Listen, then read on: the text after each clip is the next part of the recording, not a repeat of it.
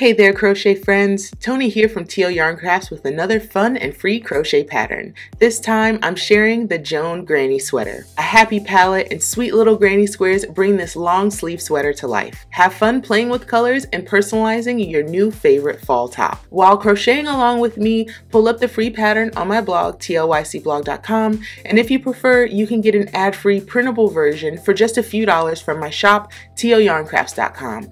Links to both resources are in the description. Now, if you're excited to make the Joan Granny sweater with me today, be sure to like this video and subscribe to my channel for even more free patterns, product reviews, and tutorials. Now let's talk materials. To make the Joan Granny sweater, we have to start with the yarn, and I used Basic Stitch Anti-Pilling from Lion Brand. It's a lovely 100% acrylic that comes in lots of gorgeous solid colors, including this sage, beige heather. I used one from their Skein Tones line, which is also Basic Stitch Anti-Pilling, and this color is called Adobe. And my last color was from Basic Stitch Anti-Pilling, and this is Mustard. You'll need a different amount of yarn based on the size that you're using, so use the pattern as a guide. In addition to the yarn, you'll also need a 4 and a half millimeter and a five and a half millimeter crochet hook, a pair of scissors, a tapestry needle, a tape measure, blocking stitch markers, as well as steam blocking supplies, but we'll talk about those a little bit later. Now let's get started. We're instructed to make our squares with a different color each round. So we'll work with our accent colors for the first three rounds, and then the fourth round is always in our main color. So I'll start with Adobe, then work through Mustard and Sage, and do the final round in our beige heather. Round one begins with a magic ring. So so we're going to lay the working yarn over our hands, wrap it around that first finger two times, bring that first loop over the second, second loop over the first and off the tip of your finger. Now we can grab both of those tails and pull.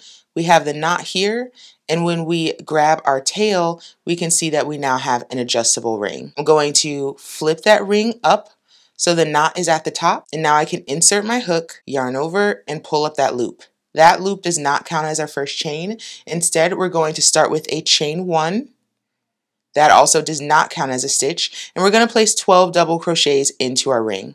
Yarn over, insert into the ring, yarn over, pull up the loop, three loops on the hook, yarn over, pull through two, yarn over, pull through two again. There's our first double crochet. And we'll do that 12 total times. So here's two, here's three, Here's four, five, six, seven, eight. There's nine, ten, eleven, and 12.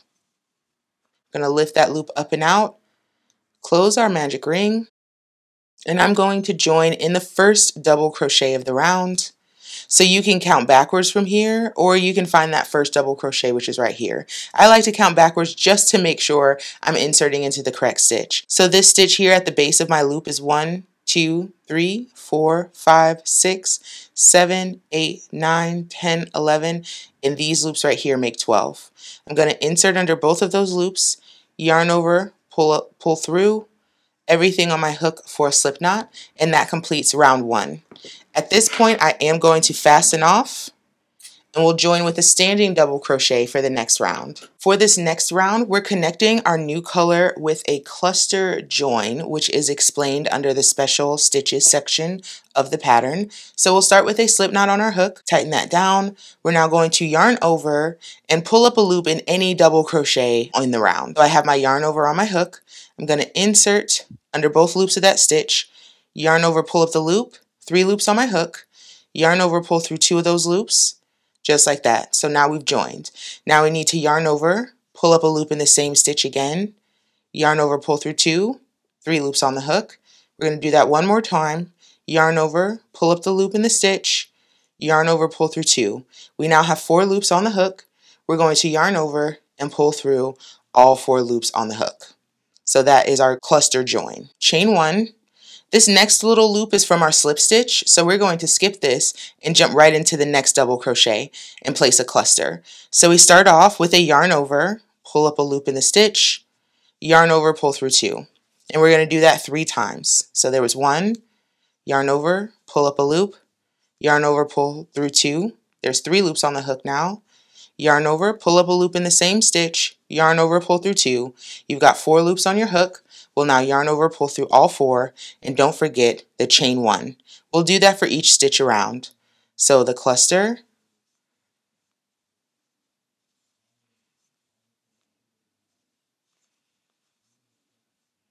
yarn over, pull through all four loops, followed by a chain one. One more time together, into the next stitch goes another cluster. Yarn over, pull through all four, and chain one. Repeat that for each double crochet around and we'll finish up with a join in the first cluster of the round. I've got one more stitch here. I'll place a cluster there. There's two and three times yarn over, pull through all four loops, chain one, and I'm going to join with a slip stitch in the top of the cluster that started the round. Just like that. So that is round two. Let's move on to round three. Now after fastening off this yellow, I can now move on to my green. I'm going to start with a standing double crochet. So I'll place a slip knot on my hook, tighten that down, I'm going to yarn over first and pick any chain one space around the circle. So I'm going to pull up a loop and complete that double crochet in that chain one space. Let me show you that again. So I have a slip knot on my hook. I'm going to yarn over, find a chain one space, so the space between clusters, insert my hook into that space, yarn over, pull up the loop, three loops on the hook, yarn over, pull through two, yarn over, pull through two again. Now I'm going to put two more double crochet in that same space. Here's one and two. Follow that with a chain one, and then I'm going to put three double crochet in each of the next three spaces.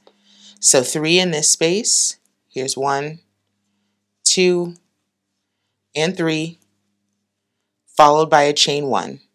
Three in the next space, Here's one. Here's two. And three. Followed by a chain one. Three double crochet in the next space as well. There's one. Here's two. And three. Followed by a chain one. Now our next step here is to follow this with another chain one and then in the same space we're going to put three double crochet. Here's one, two, and 3. Essentially what we're doing here is turning this circular motif into a square. So we just made our first corner. So now we can follow that with a chain 1 and put 3 double crochet in each of the next 3 spaces. Here's 1, here's 2, and 3, followed by a chain 1, 3 in the next space, there's 1, 2, and 3, followed by a chain 1, and then we have 1, 2, and 3 followed by chain one. Now we will chain one again and place three double crochet in this same space. There's one, two, and three. And follow that with a chain one. We're going to do it again. Three double crochet in each of the next three spaces, always followed by a chain one. Now we need to follow this with another chain one and complete our corner, which is three more double crochet in that same space. There's two, and 3. All right, we've got three sides so far. Let's finish up this side. So we're going to follow this with a chain 1. Place 3 double crochet in each of the next 3 spaces. So there's a space here, a space here, and there is a space here. So we're going to put 3 double crochet in each of those. So here's the first set of 3 double crochets. Oop. There's 2 and 3. Here's the second set with 1, 2, and three, followed by chain one. And the third set, three double crochet in this chain one space here. There's two and three, followed by chain one. Since this is a corner, we're going to chain one again and slip stitch in this first double crochet of the round. Now that round is complete, I'm going to fasten off and we can do our final round in the main color. This final round is worked in our main color. For me, that's beige heather, and we are going to join with a standing double crochet again. So I'm placing that slip knot on my hook and I'm going to join in any chain two space. So the chain two spaces are here in your corners. I'm going to start at this one right here. We're going to yarn over, pull up a loop in that chain two space, three loops on our hook, yarn over, pull through two, yarn over, pull through two again. Now we're going to place two more double crochet in that same space. There's one and two. Whereas before we put chain spaces between our three double crochet groups, we are not going to do this on this final round. So instead, we're going to place three double crochets in each chain one space to the next chain two space. So there's three in that space, three go here as well, there's two and three, and three go here as well. There's one, there's two, and there's three. When we get to the next chain two space, the next corner, we place three double crochet. There's one, two, and three. A chain two, and three more double crochet into that corner. There's one, there's two, and there's three. And we'll repeat this around. So I've got a little chain two going here, and now I can slip stitch in the top of the first double crochet of my round to complete my round. I'm gonna fasten off, leaving a tail just long enough to weave in that end. And this is what the square motifs of the Joan granny sweater look like once they're all done. Now, of course, since we changed color each round, we have a lot of ends to weave in. So you want to go ahead and do that. The one end I will show you how to do is this one here at the center because it's going to be very important for us to keep our ring nice and secure. Otherwise, through wearing and washing, this ring can work itself open and kind of ruin the granny square. First thing I'm going to do is pull that adjustable loop nice and tight here. And then I'm going to thread my yarn onto a small tapestry needle. It's not a big one, a little one helps. So once I've pulled that tail nice and tight here, I am now going to insert under a loop right next to where my tail is coming out of. I'm then going to wrap that tail around my needle twice, push that through and hold on to that knot while I pull. So this is essentially creating like a French knot like an embroidery, and it gives us a nice little knot here at the base of our work. That's going to make sure that that center loop never, ever, ever comes out. I'm then going to weave in this end way more securely than I would any other end. Because again, that is going to play towards making sure this knot never comes out. Okay, so that end is done. I'm going to just fasten off right here close to the work, making sure I don't cut my actual granny square. After you weave in all of your ends, I do recommend blocking your individual squares. So this is the one we just completed. You can see that my edges are a little wonky. It's not really trying to square itself out. It's still kind of circular, whereas this one is complete and blocked. I have nice, clean, straight edges along the sides. All of my ends are weaved in and everything looks great. So let me give you a quick demo of how to block your individual squares. When blocking my squares, I like to use these interlocking foam mats. I got these ones from Knit Picks and I really like them because they have one inch squares on them so I can make sure that my finished squares come out to the correct dimensions. I'm going to use these rust proof T-pins, open those up, and I want to block my full-size squares to 5 inches. For the smaller squares that go on the bottom of your sweater, you're going to block those to about 4.5 inches. So I'm going to start by pinning my corners and counting up one, two, three, four, five inches. I'll grab another pin, stick that in the corner, another pin headed this way, one, two, three, four, five inches. So I do have to stretch it a little bit and that's all right.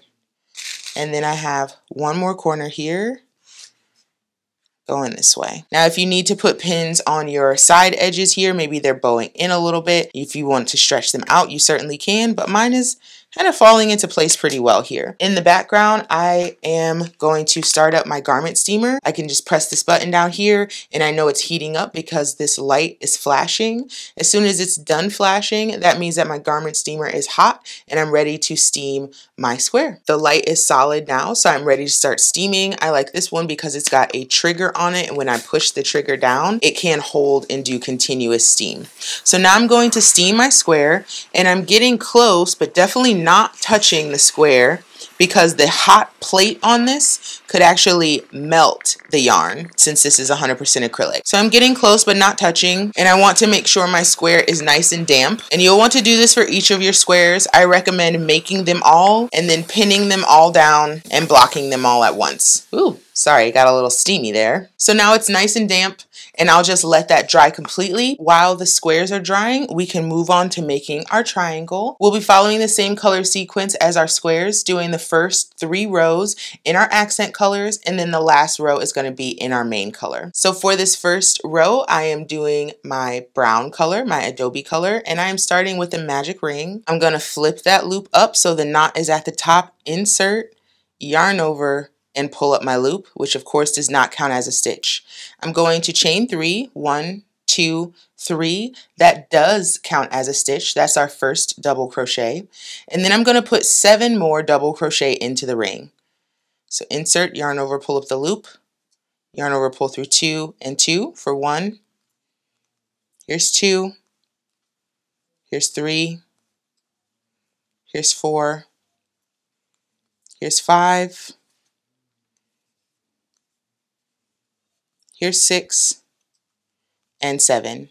So I'll have eight total double crochet in my ring. Let's give that a quick count. So at the base of my loop, I have my first double crochet here. This is one, two, three, four, five, six, seven, and eight is that starting chain three. Now I can close my ring and you can see it kind of creates more like a half moon as opposed to an entire circle. I'll then fasten off and we can add our second color. So we'll be joining with a standing double crochet. I'm going to put a slip knot on my hook and join with that standing double crochet in the first double crochet of this row. So without turning my work, I'm going to find that first double crochet, which is going to be the top of this chain three, and join with a standing double crochet. So I'm going to yarn over, insert my hook into the top of that chain three. I'll yarn over, pull up the loop, three loops on my hook, yarn over, pull through two, yarn over, pull through two again. And I'm going to follow this with a chain one. Now I'm going to cluster in the next stitch. So this double crochet here. Remember that's a yarn over, insert, yarn over, pull up the loop, yarn over, pull through two. And we'll do that three times. So there was one, here's two, and here's three. Yarn over, pull through all four loops, and we'll follow that with a chain one. And we'll do that for each double crochet around to the last double crochet. So here we go. Cluster in the next stitch, followed by a chain one, cluster in the following stitch, followed by a chain one, and now in this last stitch we're going to place a double crochet and then we can fasten off. Let's move on to row three. For row three, I have my last accent color. I'm joining with a standing double crochet again, so I'm making my slip knot to place on my hook, and I'm going to join with a standing double crochet in the first stitch of the row. Yarn over, pull up a loop in this first double crochet, and complete the double crochet from here. I'll follow that with a chain one and place three double crochet in the next chain space, which is right here, just after that first double crochet. So three double crochet go here. There's one, two, and three. I'm going to follow that with a chain one, and I'm going to place three double crochet followed by a chain one in each of the next two spaces. So here's one,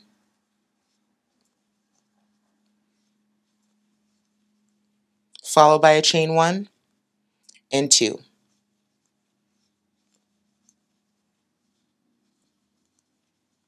Followed by a chain one. In the next space, I'm going to do three double crochets, a chain two, three double crochets, followed by a chain one. So this is going to be my corner. So three double crochet go here, there's two and three, followed by a chain two, three more double crochet here. There's one, two, and three and I'll follow that with a chain one. And now I'm going to put three double crochet followed by a chain one in each of the next three chain one spaces. So don't forget there's one right here as well. So three double crochet in this space. There's one, there's two, and three, followed by a chain one. Here's one, two, and three, followed by a chain one. And in this last chain one space here, we'll put one, two, and three, followed by a chain one. Now we're going to finish up this row by placing a double crochet in the top of this last double crochet here just like that. And now we can fasten off and do our final row which is worked in our main color. We're heading back to the beginning of the row and joining again with a standing double crochet. Slip knot on the hook yarn over and join with a standing double crochet in the first double crochet of the round right here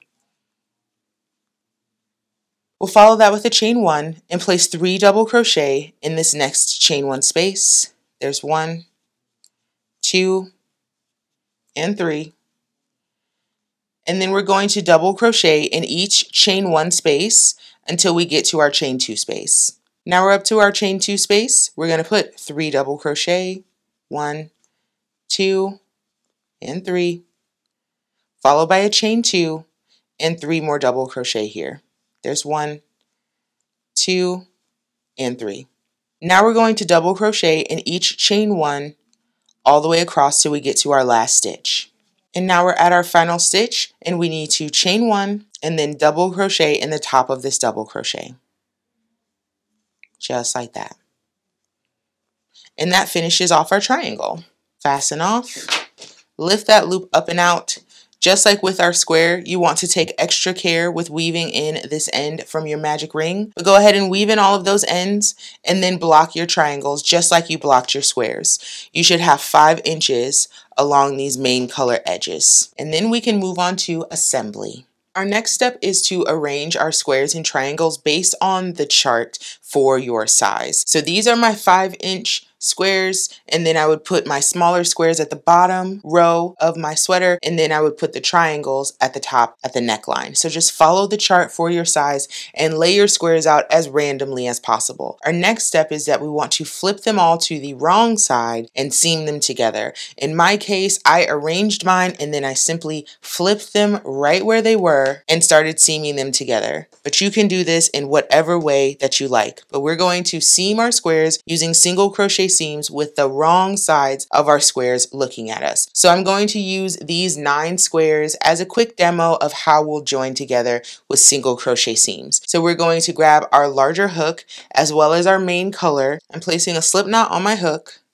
I'm going to grab my first two squares, which are these right here, and I'm going to put them facing each other. I'm going to join here and work in this direction. So I'm going to start with a slip knot in the chain two space of my squares and create a single crochet. Then I'm going to work through both the front and back loops of each stitch to create my single crochet seams. So I'm going to insert into both loops of this first double crochet on the square that's closest to me and then both loops of the double crochet on the corresponding square and back. Then I'm going to yarn over and pull through all of that, then yarn over and pull through these last two loops. And I'll do that for each double crochet across. So under both loops of the stitch, both loops of the stitch on the other square, and complete a single crochet.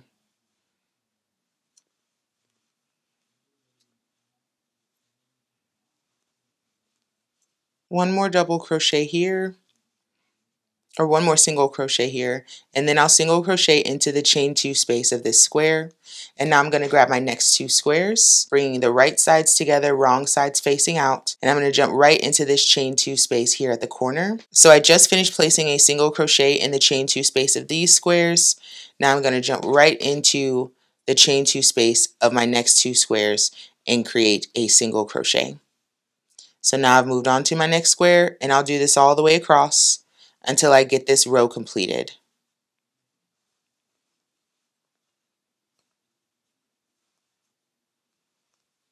I finished my rows in the first direction, but now I need to connect in the opposite direction. I know folks sometimes have an issue with this, especially working over these joins, so I'm going to show you how I do it. We're just going to basically skip right over them. But here's how you're going to join in this other direction. I just completed making a single crochet seam in those last two double crochets. Now I'm going to go in the chain two space of the squares on this side. This is a pretty thick join here, so I'm actually going to chain one and then jump over to the chain two space of the next square.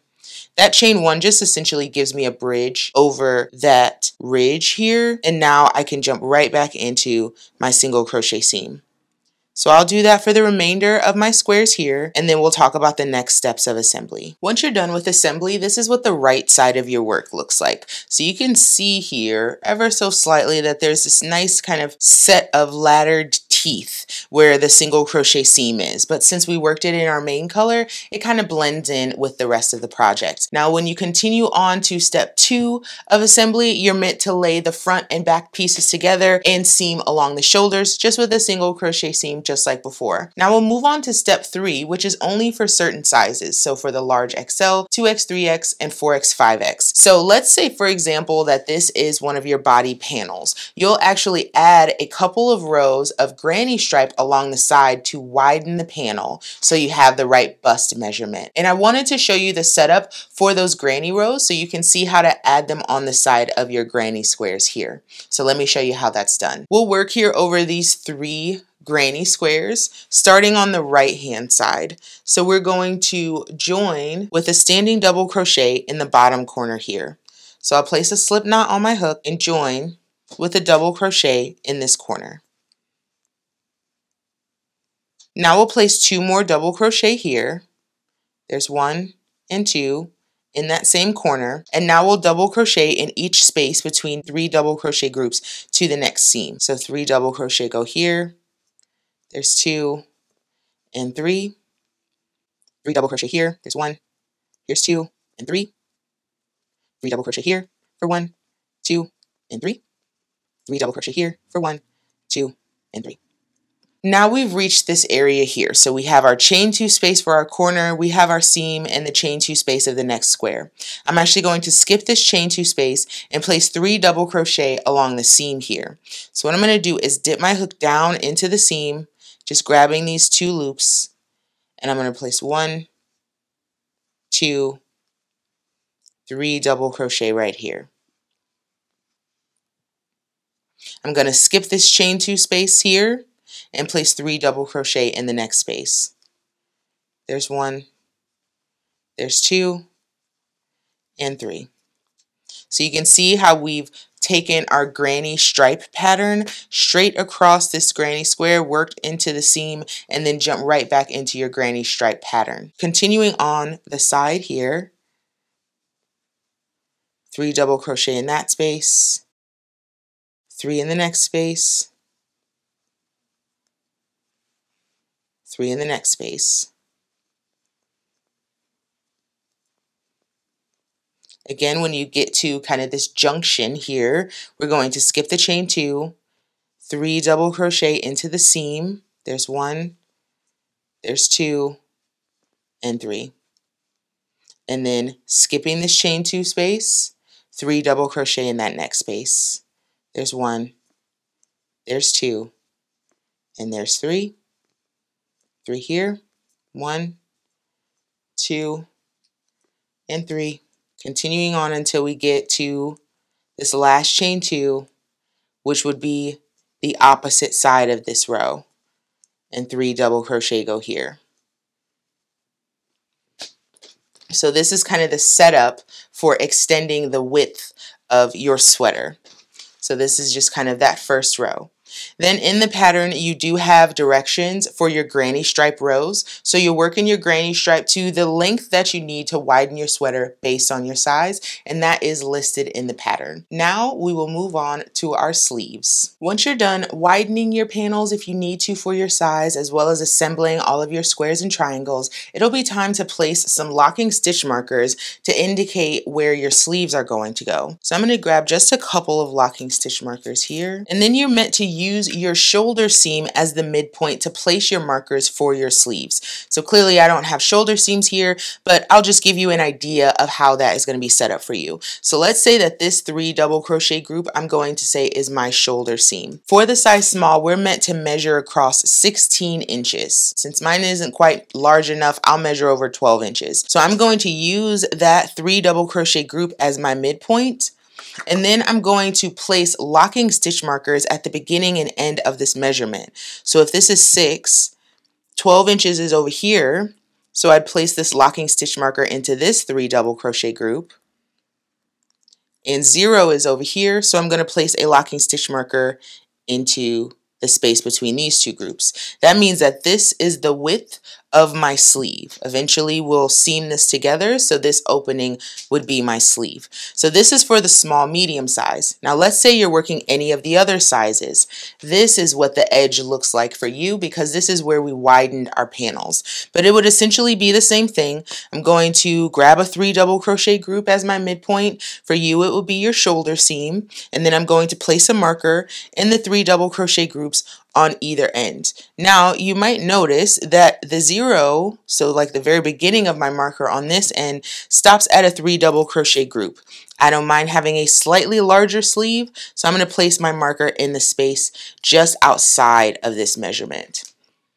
Same thing on the other end, the 12 inch marker is right here on this three double crochet group. So I'm going to put my stitch marker in the space just outside of that measurement. If you're working one of the larger sizes, you'll be able to pick up in this space here, starting with the standing double crochet, two more double crochet here and work in your granny stripe pattern placing your last three double crochet group in this marked stitch, turn your work, and then continue with your sleeve. You can change color within your sleeve however you like, but just work to the number of rows that are indicated in the pattern. Now, if you're working the smaller size and you need to do your setup row here, details of that are in the pattern, or you can jump back to this timestamp where I did the setup row for the larger sizes to extend the panel. It's essentially the same exact situation for this side for your setup row. And then you'll jump into your sleeves and work to the number of rows indicated for that sleeve. Once your sleeves are completed, you will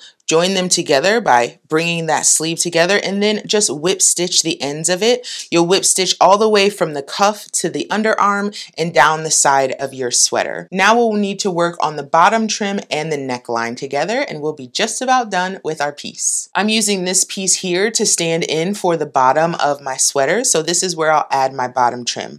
My first step is to grab my smaller hook as well as my main color of yarn and join with a slip stitch in the back seam. So I'm going to insert my hook under just a couple loops of that seam, yarn over, pull up the loop, start with a chain one, and then I will single crochet in that same space of the seam.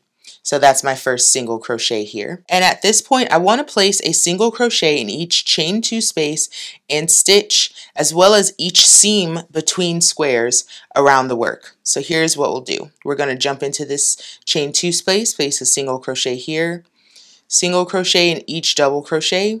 Just keep in mind that there are no chain ones between our double crochets.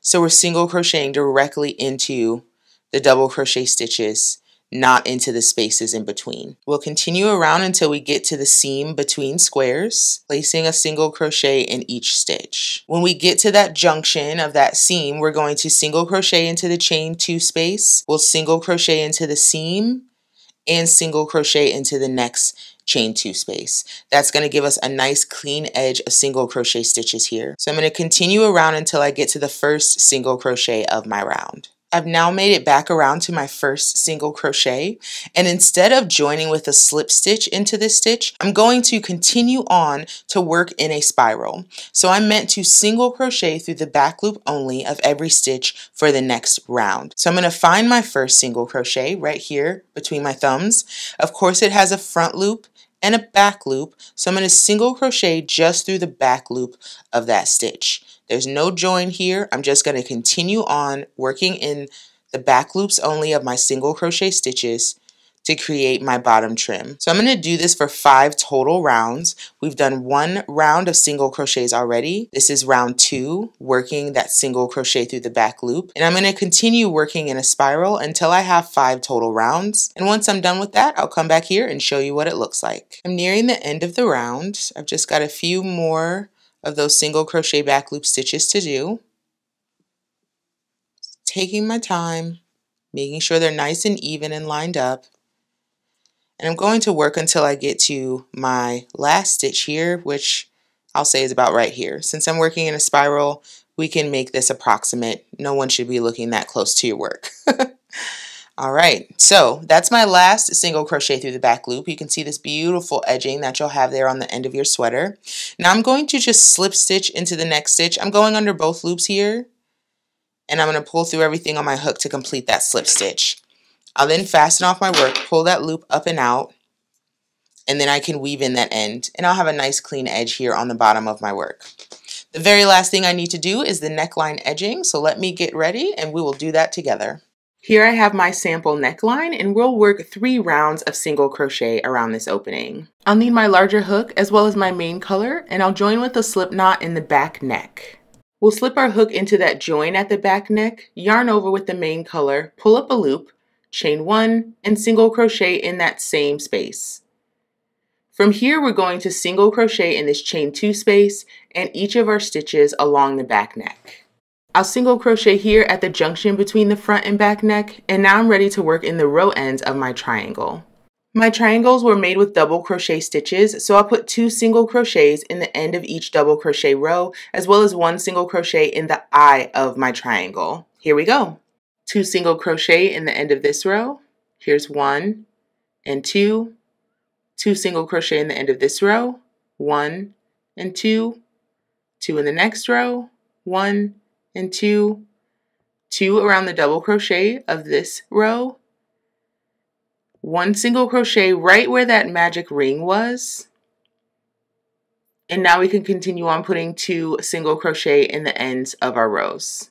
I'm now at the end of my round and just like with my bottom trim, I'm going to continue to work in a spiral for two more rounds of this neckline. So instead of joining, I'm going to work in the back loop of this single crochet and each single crochet around to three total rounds. We're closing in on the end of our third round and we're going to slip stitch in this next stitch under both loops, lift that loop nice and high, then we can fasten off and weave in that final end and all you'll really need to do from here is maybe steam block your final project to make sure everything is laying nice and neat. And of course, weave in these last few ends. Now correct me if I'm wrong, but I have a feeling that you totally crushed making your Joan granny sweater. I can feel it in my bones, honey. Just make sure you give it a good blocking, maybe a little bit of steam while it's hanging on a mannequin or on a hanger and weave in those ends. Don't forget about those. Now, after you're done with all of that, go ahead and put your sweater on, snap a couple pics and share them with me on Instagram, tag at TL Yarn Crafts, as well as hashtag TLYC Makers so I can see your beautiful work and then come flaunt your sweater inside of my Facebook group, TLYC Makers. I cannot wait to see it. Thanks so much for joining me for today's tutorial and I can't wait to see you in the next one. Bye!